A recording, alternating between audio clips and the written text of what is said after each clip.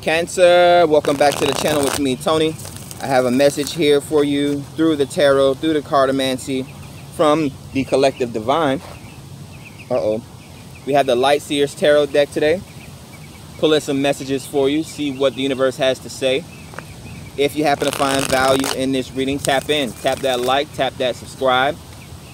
Let Allow the message to spread. We got butterflies here for you today, Cancer. Nice, good weather Let's get to the message. Messages for Cancer today. What are the messages for Cancer spirit? Jumpers. Okay. More messages for Cancer today, spirit. What is the message for Cancer? All right, so grounding the reading for you today, Cancer, we have we have the Six of Cups. Hmm. Could be a message of love, uh, spiritual flirtation. Could be learning yourself. This could be coming into union with yourself. So this could be memories as well. You're thinking back on your childhood, or you could be again planning, um, planning to make some sort of move, some type of romantic move. So you're thinking about about the future. You're thinking about the families. Could even be some form of a uh, a I was gonna say dog whisperer, but this could be some type of shaman here. Definitely getting the shamanism. We had the jumper was the divine masculine. You know, there's a lot that could be said about the divine masculine. I have a few butterflies floating right in front of me right now. So someone's blossoming at this time. We have a child that blossoms from childhood into adulthood. So the emperor here, an initiative uh, or initiate, a self-starter, uh, looked at as some type of boss, CEO, or a leader here. Uh, okay, interesting message. So that's what I was channeling here. the Six of Cups. We have this big muscle bound muscular dude who's walking a white poodle in the park. Oh man the tarot's so funny i swear. Like this is literally him. And he's walking this tiny little white poodle. Look it's a white chess piece all right uh what else we getting? Wow even more of a message here. We have strength card. Again it's some big mus i would turn the camera on him but he's probably going to walk right by me. Like he's getting closer and closer to me. A big big muscle bound dude is wanting to know what this guy's doing sitting indian style uh in the grass. You gonna walk your dog right on the basketball court where people bounce their balls all the time? Don't let your dog take a shit sir. But um yeah we have we even have the lamb down here a white lamb looking just like the white dog but we have strength coming in here. This is uh, ancestral energy here. This is ancestral protection as well here when we talk about strength. Um, blessings on blessings here. Could even be um, learning um, how to make boss moves is what I'm getting here. So someone could be opening up a business could be dealing with an entrepreneur. This could already already be in development. Okay so I'm getting self-development as well. Okay some type of hidden potential that you've always had in you since you were a child people have been able to see it in you all the while here. Now we have a white guy uh, with his cargo hat on. Um, he's taking pictures of uh, trees randomly in the park. I've never seen this before. They are bearing some sort of red fruit here. Mmm, interesting, man. I could go on and on about it, but I'm not really going to say anything. Uh, hmm. Yeah, the tarot's showing me a lot right now. We have distractions here. Yeah, his back is turned to me. He's up in the tree. This is minor distractions here. This could even be uh, spring, uh, multiple ideas being uh, sprung forth here. Now, the thing about juggling too much, when you have so many ideas, and this is the thing with being um, with being gifted. When you have so many gifts, it's hard to concentrate on one particular gift. Yeah. The same thing could be said about problems and frustrations and things like that. There's so many problems where uh, to begin to uh, resolve them. Queen of Cups, uh, Pisces, Cancer, Scorpio energy. So this is also uh, some form of an empath or an intuitive. Could be some form of a nature lover as well. Strength card. Okay, so someone could be uh, developing some type of business in regards to nature or philanthropy. They're taking on the burdens or the thoughts of everyone else around them. Could be a church or something like that. Could be dealing with baptism. Yeah. I would expand on it, but of course, not never know when my phone battery is going to get low. Yeah, we're dealing with people with mental health issues. Could be uh, minor distractions. We go from uh, 10 of swords to the 5 of swords.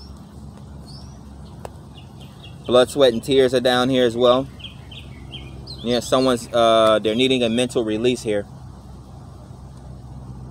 Yeah. They're needing to uh, elevate here. They're so bogged down by societal norms that they can't elevate. We have to remember that we're spiritual beings here. So again, being overweight, two, three, four hundred pounds for no particular reason, when you're actually a soul, when you're actually a spirit, when you actually want to move up in life, whether that's moving up an elevator in a building to get higher perspective, or you want people from a higher perspective to uh, look at you. But how? Why would someone want to look at someone that's either overweight, physically or spiritually? Like, make yourself attractive, make yourself appealing here. Someone's needing some type of an, an exorcism here. Yeah, judgment here. Judgment is being cast down on you. It's coming right underneath the emperor, making a judgment call, starting some sort sort of business or um, now someone could be overwhelmed here. Not everyone is meant to be an entrepreneur. Not everyone is meant to be a business owner or a CEO. CEO, uh, CEO. We actually need people to work these minor jobs as well. We need secretaries and that sort of thing. This is a secretary dealing with the whims of her boss. Every little side project, every little thing she has to note down, things that he would typically have to think about, he casts down to her or he delegates to her. She's needing some form of a mental release, some form of vacation or resting period. This could be time off. This could be an extended lunch break. Could even be uh, some form of a, um, okay, so if I'm getting therapy here, that would be physically, mentally, spiritually. That would be, um, I'm, okay, I can't get it. It's like some type of off day to go off and um, get like massages or something like that. This could also be a beach day. Someone could be attending beach. I'm actually supposed to be going to the beach uh, this weekend. Yeah, look at that. Three of Wands. Amazing how the tarot speaks, right? So it's literally standing in front of a beach with a surfboard, waiting on the ships to come in, or waiting on that high tide so that they could take that leap forward, take that adventure, get in the water. Threes are about passions, inspirations, sex, that sort of thing. The sacral chakra, wanting to go on an adventure or create an adventure for yourself, with it being a three of wands yeah, you have the strength to do so as well. Yeah, more water here. Six of swords. Coming right under the ten of swords. Getting away from all these negative thoughts. Getting that mental release here. Having a moment of victory. Mental release. And then we also have three of cups. So more threes, man. Three threes. Taking the... Okay, so this is self-love. This could be self-indulgence. This could be partying yeah, getting a chance to, okay, work hard, play hard. So you're getting a chance to have fun in uh, between time. So what is it, the weekend? Okay. Or whenever your days are off or whenever you come across this reading here. Three of Cups right under the Queen of Cups. Yeah, some, some sort of a relaxing celebration or something like that. Could be, um, this could be a wedding. Also what I'm channeling, a wedding on the beach, which is always something that I want to do. Now, don't get me wrong. I despise when people take advantage of um, marriage. I'm a Libra. That's what I'm about. Partnerships, business, that sort of thing. I am the marriage sign, but I'm not stupid. In 2022, I know women initiate 80% of divorces. So as a man, first of all, I'm not going to get married until I can offer you abundance. But when we get into a relationship or connection, I'm not going to let you steal my abundance by divorcing me. But this is someone getting married on the beach that's one of my dreams, one of my goals, one of my fantasies. I'll always have something to work towards. It's also drinking as well. Yeah, pour me another drink. Could be a bartender, judgment. Could be someone dealing with drinking issues here, but it looks like someone's just having a good time. I think all of the people in this situation are overdoing it here. Ten of Swords. okay. Uh, last message here for Cancer, the lovers. Oh, yep, that's what I said, right? A marriage. Yeah. Uh, coming right under the Five of Swords. This could be, um, what do women have, um, I'm not to say women, everyone has a fear. It's some sort of a bachelor party or a bachelorette party or something like that. But yeah, we have your soulmate coming in here. Again, a love connection. You could be coming across um, the person that you're to be spending the rest of your life with. or this is just a big party and everyone's having fun. They're communicating with each other, they're enjoying each other's presence. Again, the lover's card could be meeting the love of your life. Again, relationships or marriage. Major Arcanas, judgment. Oh yeah, look, grounding your reading, six of cups. So yeah, you're meeting your, your okay, so we have love coming in here. We have grounding you, six of cups. Three of cups, celebration, togetherness. uh, a consecration here.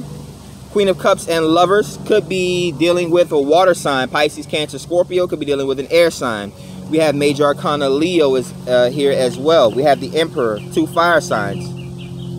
This could be, again, an adventure, uh, leaving behind what you're normally used to or the typical marriage to go on some type of, this could be a, a marriage abroad or something like that. Trying to do something atypical.